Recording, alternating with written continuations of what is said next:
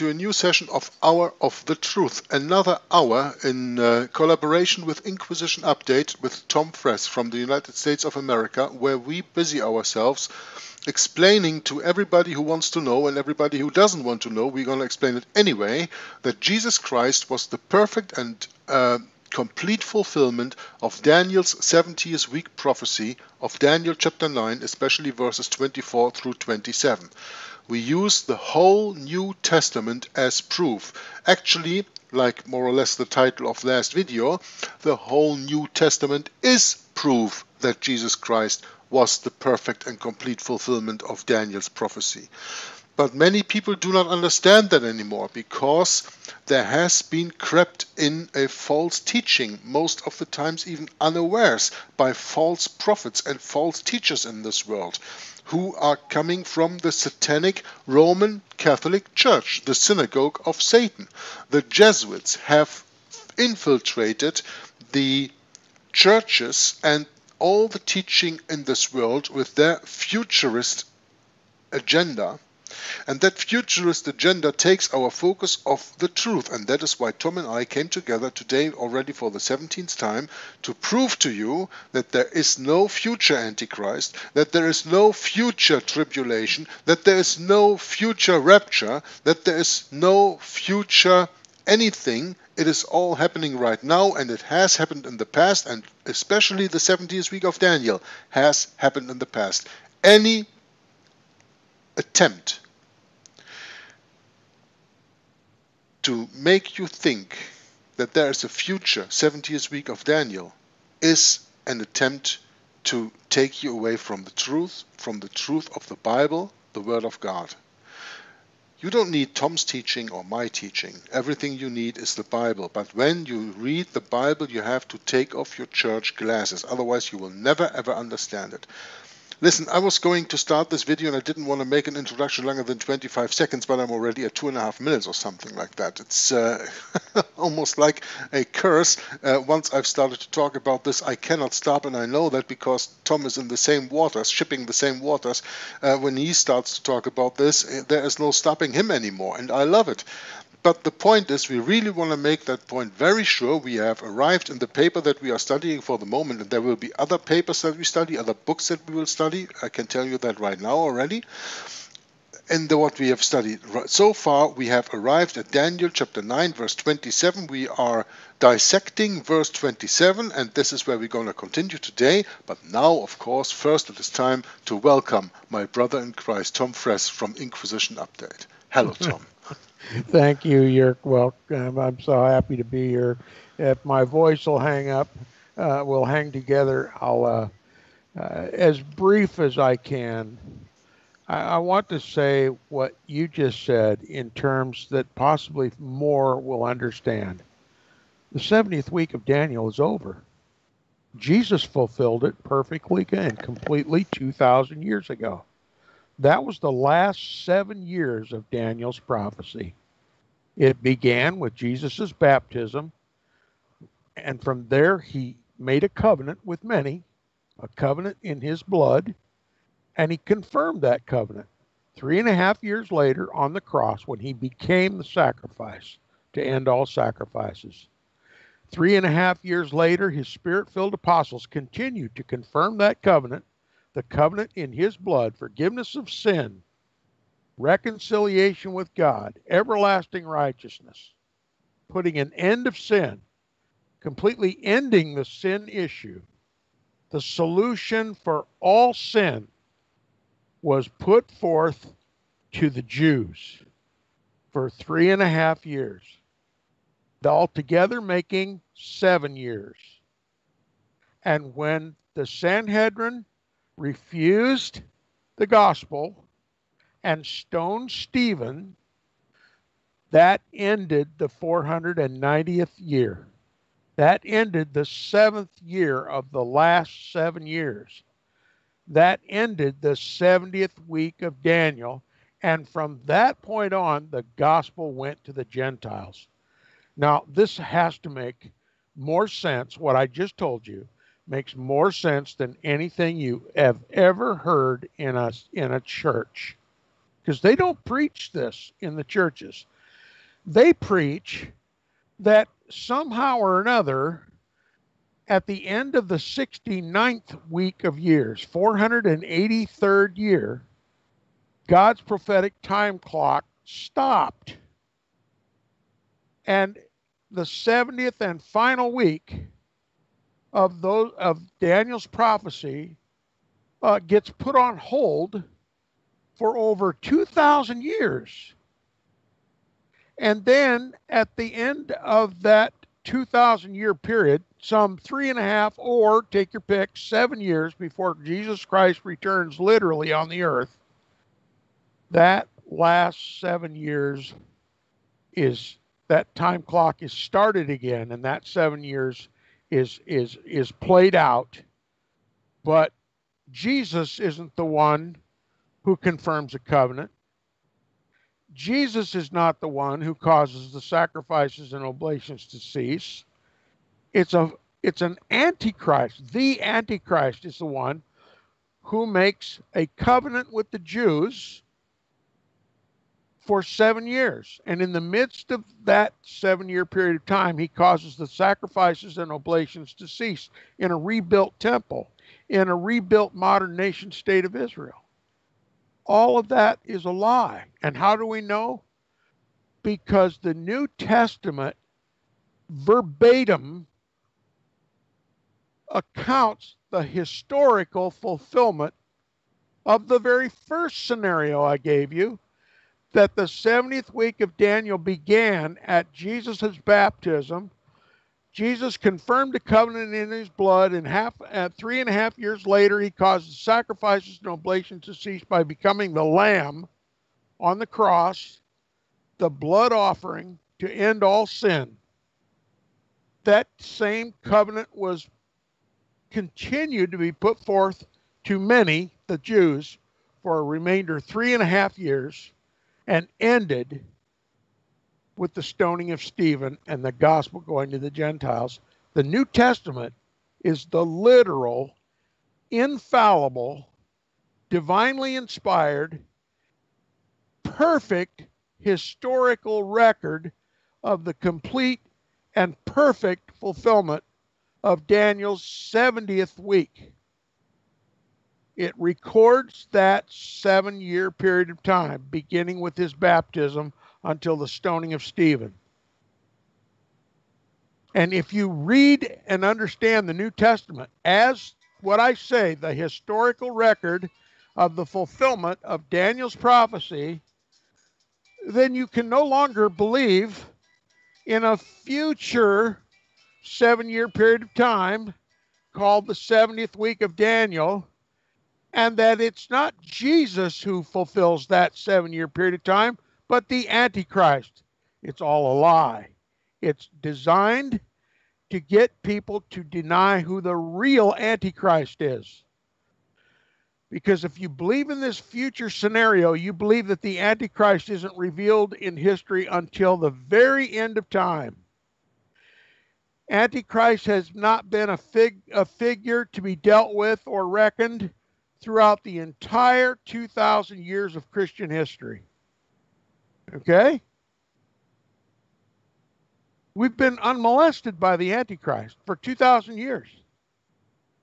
And we won't have anything whatsoever to do with the Antichrist. He will never be a factor in the world until just seven years or three and a half years, depending on how you interpret this phony futurist interpretation, before Christ's re- literal return.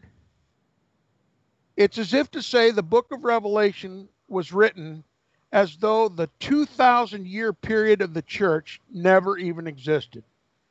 There was no history involved. There was no divine reckoning or rec- or, or or accounting of those 2000 years of church history. It's untenable, but yet that's what the whole Christian world believes. And and you will look high and low all your life and may be lucky to find one church that preaches the truth. And uh, what we believe ironically is what was believed by every christian prior to about 1800 ad we're not Jörg and i aren't preaching anything new we are preaching the ancient belief of Christians for the last 1800 years. Up until about 250 years ago, no one had ever heard the term futurism. No one had ever heard of a future seven year period of time or a future 70th week of Daniel to the Christians prior to 1800, everything about this futurism, everything about this future seven-year period of time would be laughably would be laughable if not condemned as heresy. What is taught in all the churches today would be determined as heresy by every Christian that ever lived prior to about 1805 or 1810 AD. If you were to ask anybody in th- those generations who the Antichrist was, people wouldn't even bat their eye. They would just tell you why the papacy, of course. What rock did you just crawl out from under? You don't know about the papacy? You don't know about the man of sin, the son of perdition in Rome? You don't know about the beast in Rome, the one who wears out the saints of the Most High, thinks to change God's times and laws? Are you kidding me? But if you ask any Christian today who the Antichrist is, they're apt to tell you we're not supposed to know. It's we're not to be concerned about the Antichrist because he's yet future, and before he comes to confirm a covenant with the Jews for seven years, we're going to be raptured out of here. We're never going to see the Antichrist. We're never going to have to be concerned about him. And yet, the truth of the matter is, the Antichrist has worn out the saints of the Most High for 1,500 years, has made martyrs of God's saints for 1,500 years, has soaked the ground of earth for 1,500 years with the righteous blood of the saints. That blood is mingled with the righteous blood of Abel, and it still cries to God from the ground to this day for justice. And you wouldn't know about it. because you've never been told about it. They don't want you to know about it. Why? Because it puts the onus of Antichrist smack dab where it belongs, right on the nose of the papacy. Where it belongs. Where Bible prophecy says it belongs. And you're going to have to forget your future de- delusion. Otherwise, you'll never understand. You will never understand what has happened in the world for the last 1900 years. You will never understand what is happening in the world today. And you will certainly never understand what is going to happen in the future until Christ comes. You will never know who the Antichrist is, who the Antichrist was, and who the Antichrist will be. And therefore, not knowing who he is, you are subject to be deceived by him. You don't know who he is. You don't know his face, his name, his number, or the prophecies concerning him. You've had your attention shifted onto a fake. You've been deceived. I was deceived. I'm no better than you. But until I die, it is my God given duty to help wake up God's people to the historical truth. The papacy is, was, and always will be the Antichrist.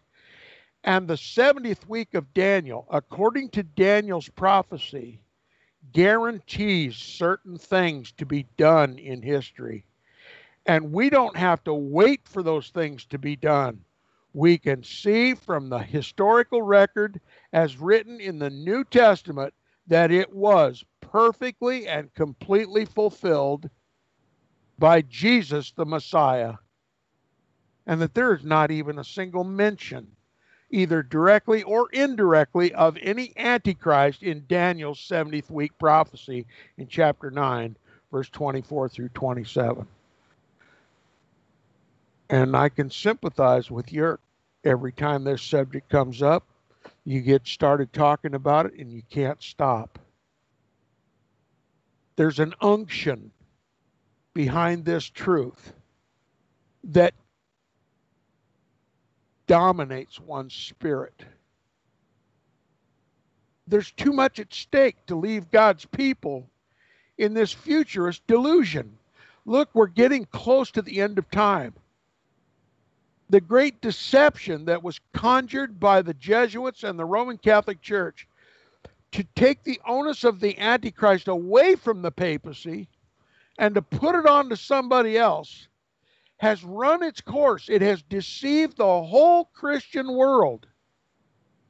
And Christ is literally ready to return. We have to get our heads straight before he comes, or he's liable to find us worshiping the Antichrist when he comes. That's what's at stake. That's why this is so important. Okay, we're not fearmongers. We're telling you like it is, and it's verifiable. These aren't wild, blind assertions that you hear from so many prognosticators in God's uh, uh, uh, theolo- or, or uh, God's prophecy conferences, as they call them.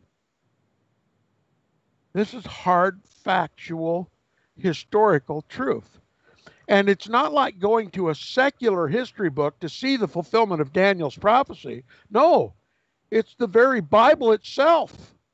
The New Testament is the best, most accurate, well, infallible history book you'll ever put your hands on. And it records, like no other history book in the history of the world, how perfectly and completely Daniel's 70 week 70th week prophecy is fulfilled in Jesus Messiah the Prince. And all of a sudden when you comprehend this, When you comprehend this, you're about to get your eyes open to a truth that cannot be denied that will revolutionize your understanding. And that is that the Antichrist is not future, because there's no future fulfillment of this for the Antichrist to fulfill. And therefore, the Antichrist may well be historical.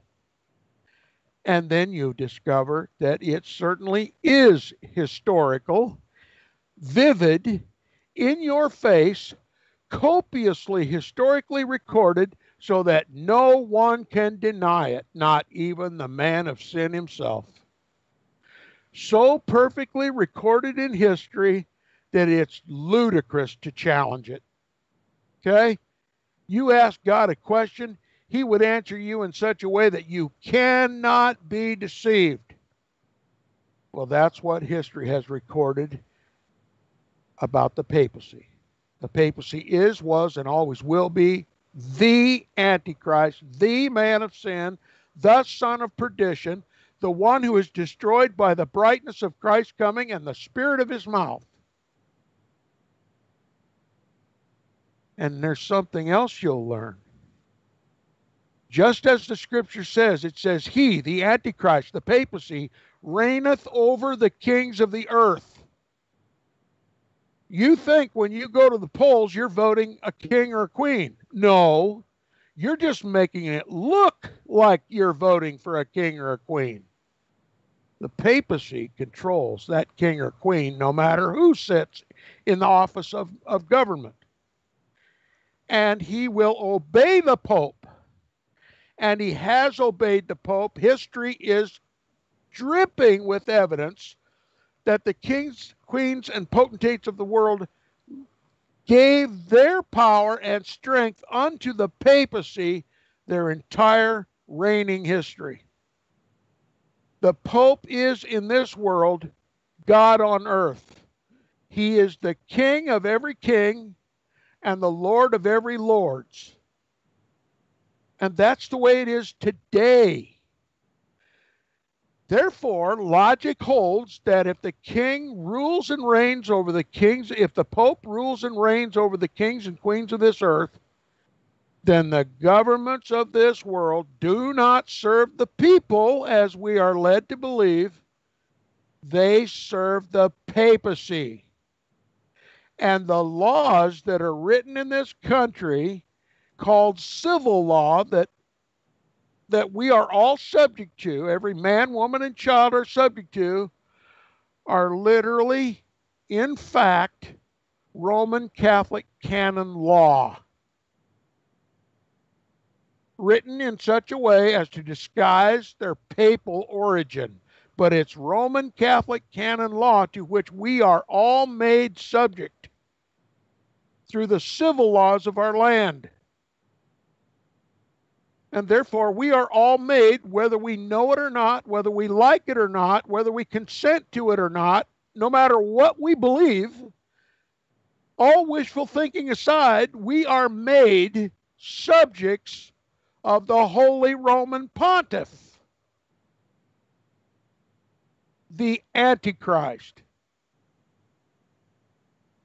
These are the realities that you can't avoid if you denounce and reject the futurist interpretation of Daniel's prophecy and come to the historical understanding of the fulfillment of Daniel's prophecy in Jesus Christ.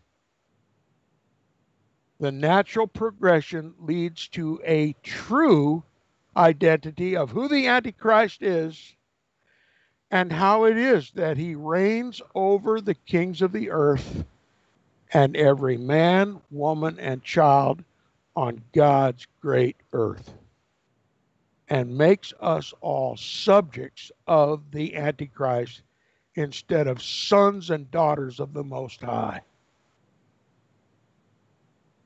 That's why we're here to show you in the New Testament the perfect and complete fulfillment in Jesus Christ and Him alone of the 70th and final week of Daniel's prophecy.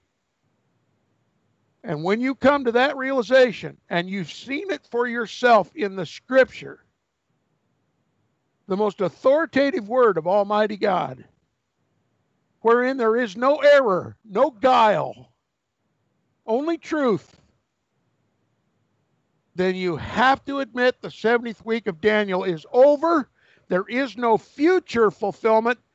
The Antichrist will not be revealed in the future. Therefore, he has to be revealed in history. And then you realize the one that was restraining the rise of the Antichrist was the Caesars of the Roman of the of the Roman Empire and the papacy filled the power vacuum and rose to power as the man of sin, the son of perdition, the one who wears out the saints of the Most High, right on time after the restraining Caesars were taken out of the way. Now, all of a sudden, the Bible, the New Testament makes so much sense. You could never made more sense out of the New Testament than you've ever heard in your entire life. And all of a sudden, you can understand everything that's happened in history and who benefited. That's why we're here to help you understand not only current events, but historical events that take all the guesswork out of who the Antichrist is and what his function is in this world we can put a name and a face on the Antichrist. Can you? Can anyone you've ever met? Can your pastor? We not only put a name and a face on him, we prove it beyond any doubt whatsoever. And we're nothing. Everything we think, do, and say on this broadcast has been thought and done and said by the saints of Almighty God for thousand years. Not until up to about 1800 AD were, were God's people deceived with futurism. It's the newest prophetic beast on the block. Futurism is the newest kid in town. And yet, it has been preached from every pulpit in every Christian church since the 1800s. And it has deceived a whole world of saints. And we're, gonna, we're not going to rest day or night until the truth is finally heard with God's people. I'm sorry to have taken so much time. Back to you, Jörg. That's fine that you took the time, Tom. Um, I think we can um, summarize this in one sure sentence. As much as the Bible proves to us that Jesus is the Christ, the Bible also proves to us that the papacy is the Antichrist. Well said.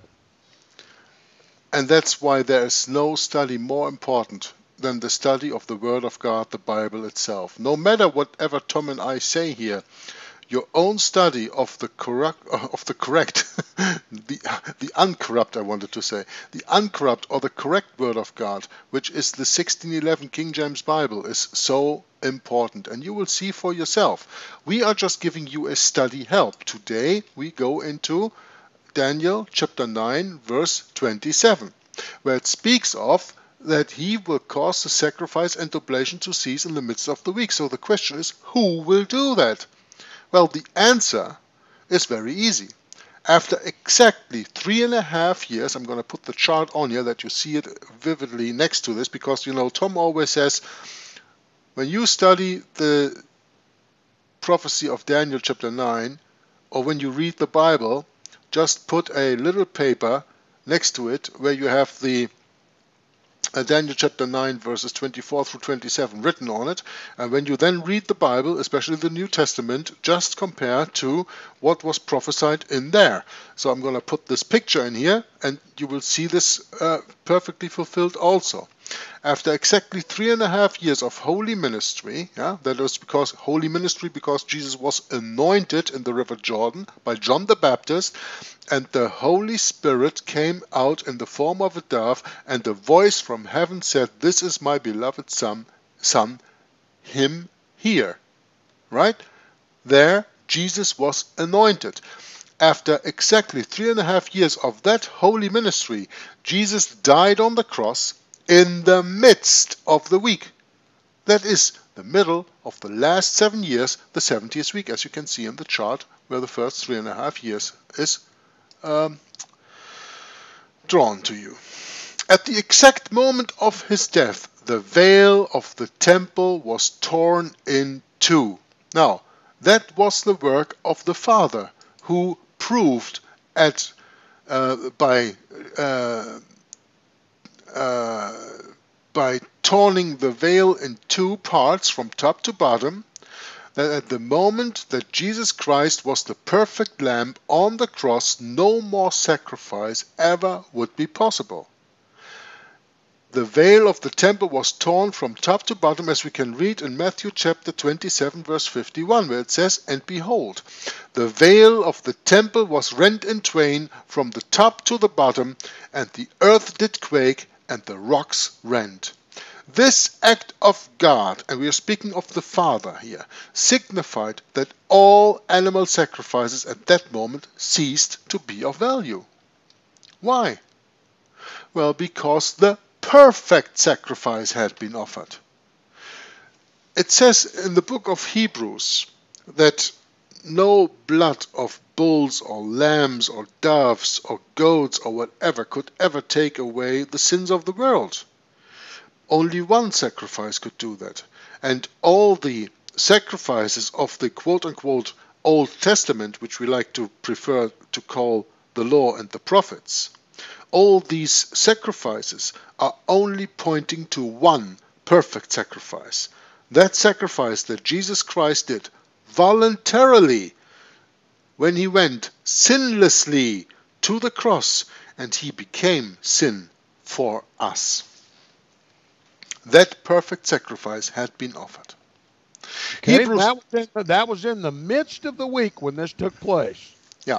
Three and a half years after his baptism and anointing by the Holy Father in the River Jordan by John the Baptist. That was the anointing of the Most Holy. The Most Holy God anointed Jesus for his seven year ministry. Okay, to preach reconciliation, remission of sin, everlasting righteousness. Why? Because he was the lamb which was slain from the foundation of the world. His blood would be shed to reconcile us to God. After confirming that th- covenant in the midst of the week, he caused all sacrifices and oblations to cease. Why?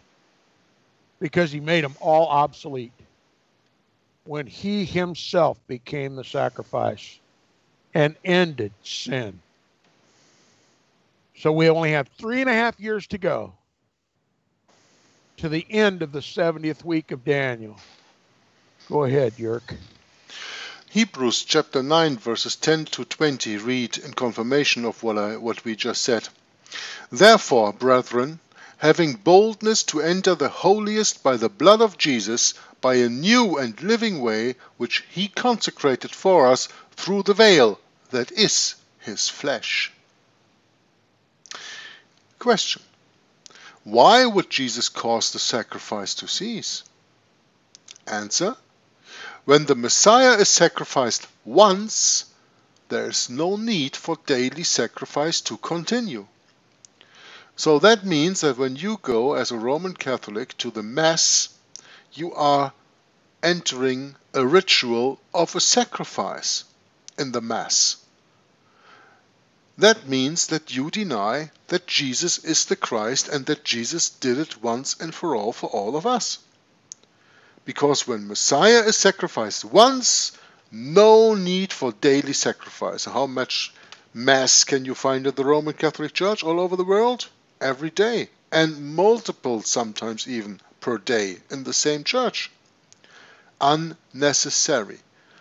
Not only unnecessary, but a token of Antichrist, if you ask me. Hebrews chapter 9 verses 12, 25 and uh, 2 through 28 says, quote, Neither by the blood of goats and calves, but by his, Jesus, own blood, he entered in once into the holy place, having obtained eternal redemption for us. That's everlasting righteousness, redemption. He has redeemed us to God. That is everlasting righteousness. That's the fulfillment of the prophecy. He entered in once into the holy place, having blood to place on the altar, his own blood placed on the Ark of the Covenant. Okay? He put an end of sin. Redemption is how we are saved. It's Christ's act of sacrifice that redeems us to God. And once Christ has redeemed us to God, why in the world would anybody make another sacrifice? Lambs or goats or Eucharist or whatever you would call it. The only reason a person would continue to make sacrifice of any kind bloody or unbloody, is to express their hatred and their denial of what Jesus did one time on the cross for all and for all time. And that's the purpose of a temple on Temple Mount in Jerusalem. To reject once and for all Jesus and his bloody sacrifice, his redemptive sacrifice. That's what Satan has in store. And do you know most of the churches in this country and around the world that call themselves Christians are looking forward to the day for the Jews to build a temple and to begin sacrifices again? How could the Christian world be so blind and so contrary to the sacrifice, the one time, all sufficient sacrifice that Jesus made for us all 2,000 years ago in the midst of the 70th and the final week of Daniel's prophecy. How could the world be so deceived today?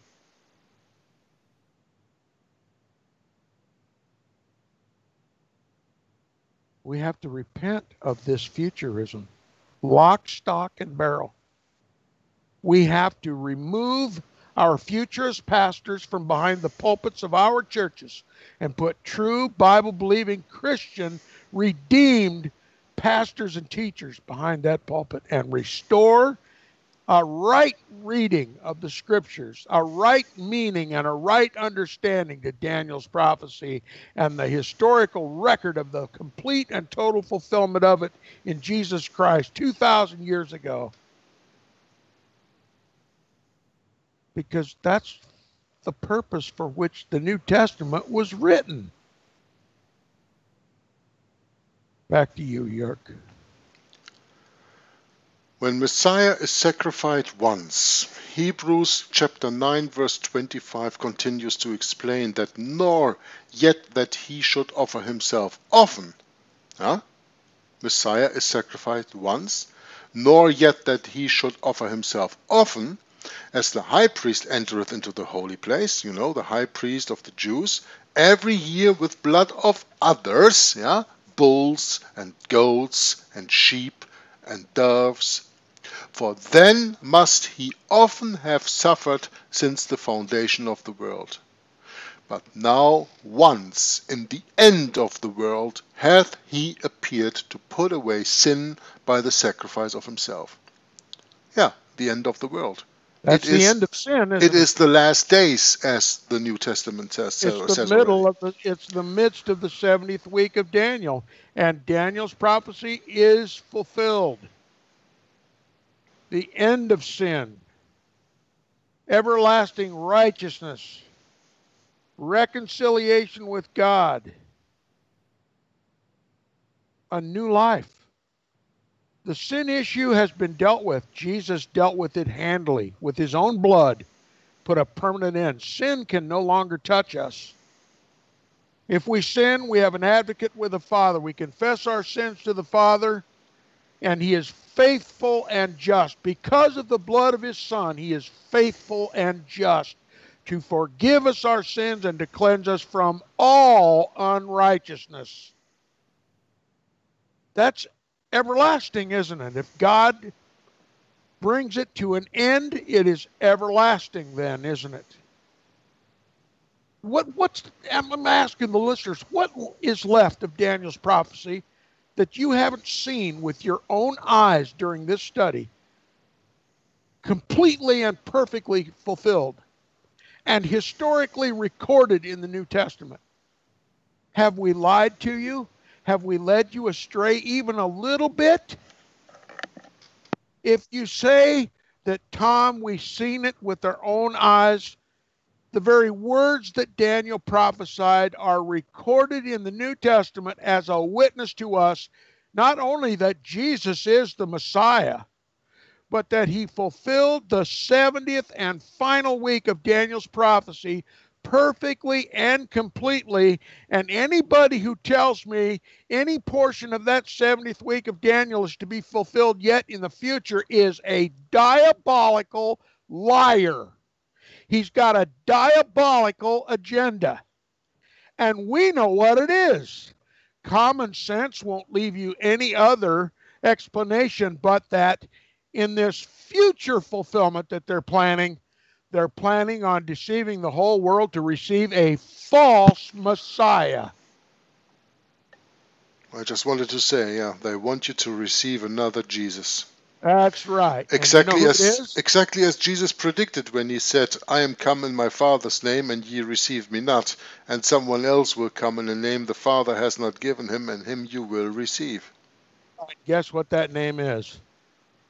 The Pope.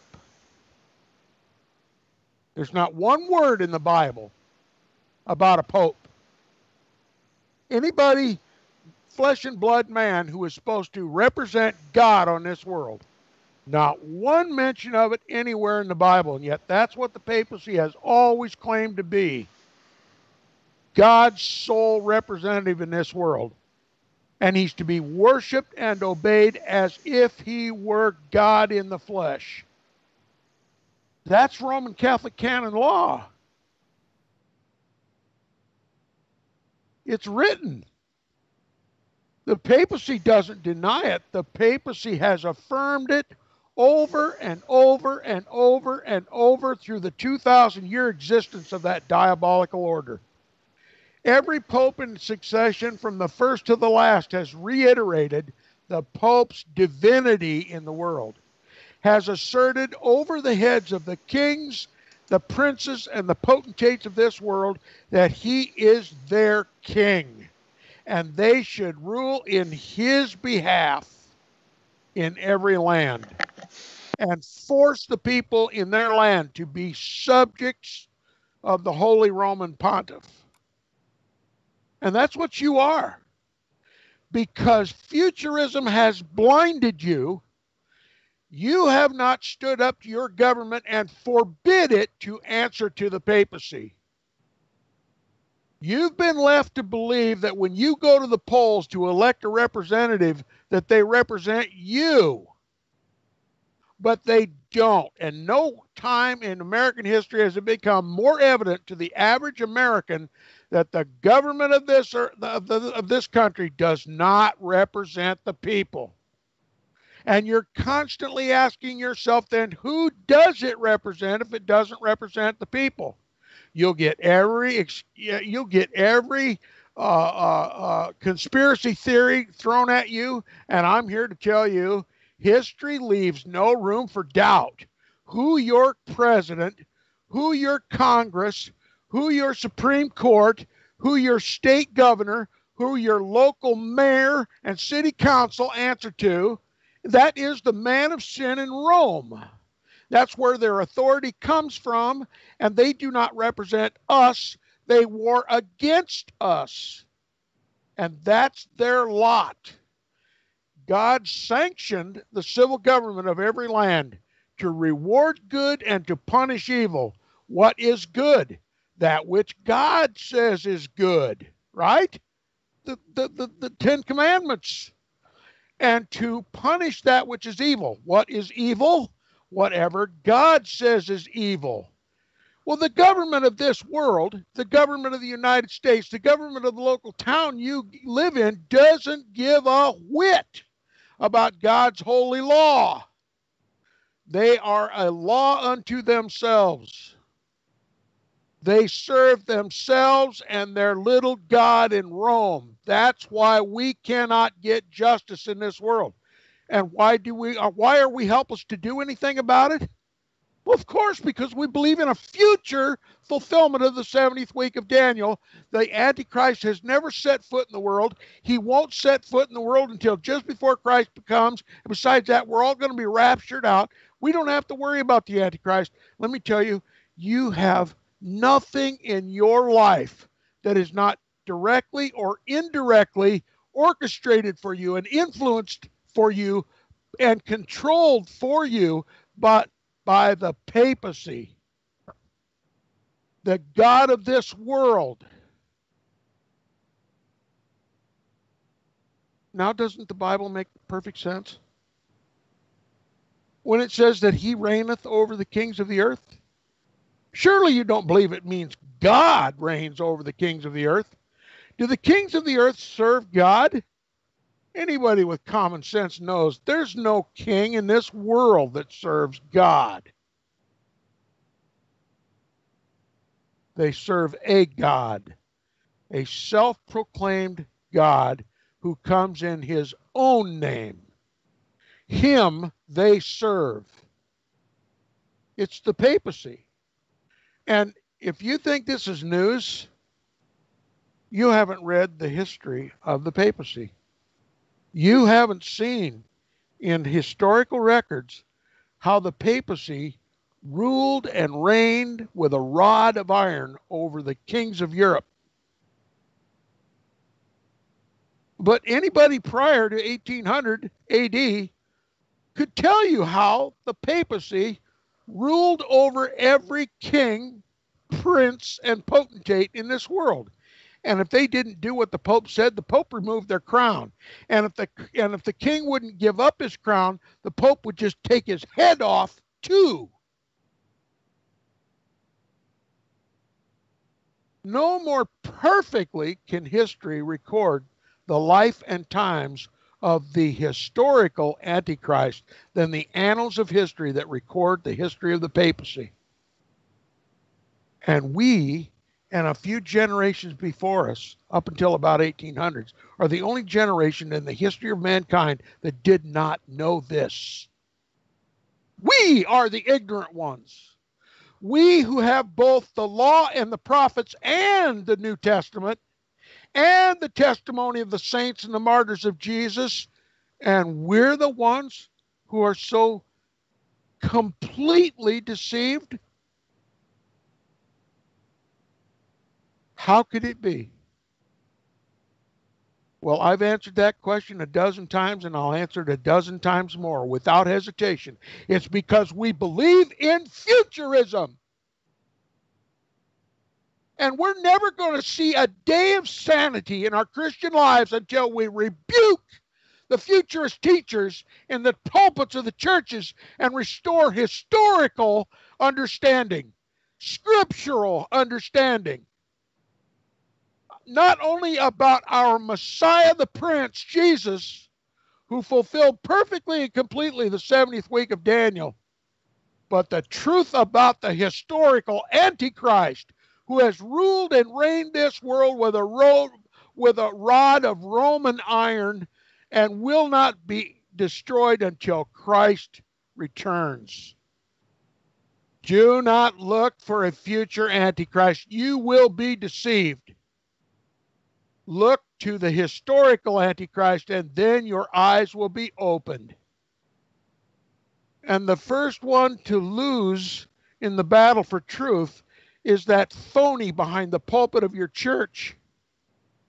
I'll leave it up to you to do with him as you see fit or as the Lord leads. Back to you, Jörg.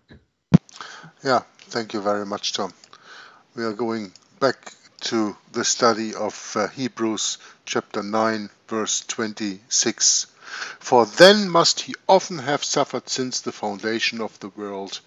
But now, once in the end of the world, hath he appeared to put away sin by the sacrifice of himself. And it is appointed unto men once to die, but after this, the judgment. So Christ was once offered to bear the sins of many, and unto them that look for him shall he appear the second time without sin unto salvation. Jesus Christ will appear to them that look to him. And to all others, the Antichrist will appear. That's futurism in a nutshell. Hebrews chapter 10 verses 10, 12, 14 and 18 state by the which will we are by the which will we are sanctified through the offering of the body of Jesus Christ once for all. But this man after he had offered one sacrifice for sins forever sat down on the right hand of God. For by one offering he hath perfected forever them that are sanctified. He hath perfected forever them that are sanctified. Okay, what is there to be done in the future? Class. Verse 14 says, For by one offering, by one sacrifice, that is, himself, he, Jesus Christ, hath perfected forever them that are sanctified. Okay? It's over. Christ has fulfilled his purpose and role as predicted by Daniel in the 70th and final week of that prophecy. And there isn't anyone who can master any language, flowery and educated as it might be, that can gainsay what we've just learned out of verse 14. For by one offering, Jesus Christ has perfected us all that are sanctified. Huh? There's your redemption. There's your reconciliation. There is the end of sin. Take verse 18 right with you, Tom. Yeah. And now, where the remission of those sins is, there is no more offering for sin. No more sacrifice. No more sacrifice. So if you walk into a Roman Catholic church and you see them offering the sacrifice of the Mass, you just say, Ichabod, and turn around and walk out. You walk up into Mount Moriah in Jerusalem someday, if God ever allows them to build an abomination on top of that hill. If they are sacrificing lambs and goats, you just walk in and say, Ichabod, and turn around and walk out. And if there's a pastor in any church that prophesies a future 70th week of Daniel, you walk in and say, Ichabod, and turn around and walk out. I don't see how anybody can make it more clear. We've got a responsibility from here on out to stop this futurist nonsense. It has led the whole Protestant world astray. It has single handedly destroyed Protestantism. There's no more protest anymore. There's no more protest anymore. That's why the papacy can walk right in and out of Congress without any protest. That's why Pope Paul VI, Pope John Paul II, Pope Benedict XVI, and this current abomination, Pope Francis I, walked in and out of this country, in and out of Congress, in and out of the White House with nary a word of protest because we've all been believing futurism. When the matter of fact, Pope Paul VI Pope John Paul II, Pope Benedict XVI, and Pope Francis I are each individually and collectively the Antichrist, the man of sin. And this is supposed to be a Protestant nation. No man of sin would ever dare set foot on the shores of a true Protestant nation he would be protested right into perdition where he belongs. So you've got only one thing to conclude. This is not a Protestant nation. Protestantism is dead. It was single handedly destroyed by Jesuit futurism. Jesuit inspired futurism, the idea that the papacy never was the Antichrist. No, it's a single individual, looks a lot like Mitt Romney, possibly, that won't rear his ugly head until just before Jesus returns. And you don't need to worry your pretty little Protestant head about it because you're going to be raptured out anyway before he comes. You ever heard such a lickety split load of hooey in your life? Once you realize the truth, the ridiculousness of what is taught and believed in all the churches today becomes so apparent as to be self evident. Be no longer any part or parcel of the greatest deception since the Garden of Eden, futurism. Back to you, Jörg. Yeah, thank you very much, Tom. I think this is a good moment to end the broadcast for today because we are going into another question.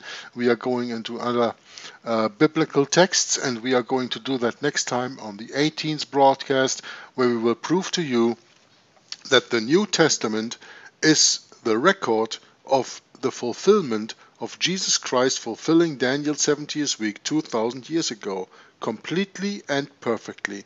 There is no other fulfillment of that. Anyone who teaches that has the spirit of Antichrist because he denies that Jesus has come in the flesh and sacrificed his flesh for our sins so that we can gain eternal life with him and the Father in a perfect heaven.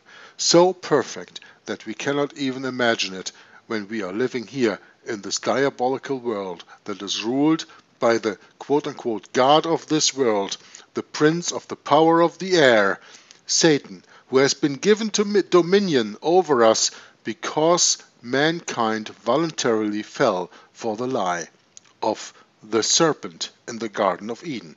This is why, this is the greatest deception since the Garden of Eden explained in other words and assure to you that the Word of God always was, is, and always will be true. And that is to be found in the 1611 King James Bible.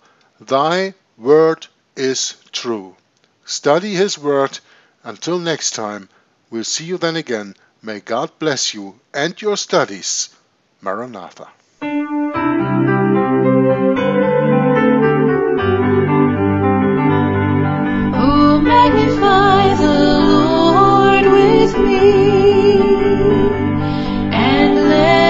Us exalt His name together. Oh, magnify the Lord with me, and let us exalt His name together.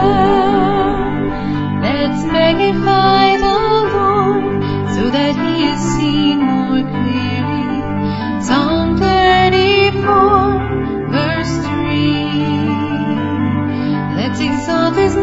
name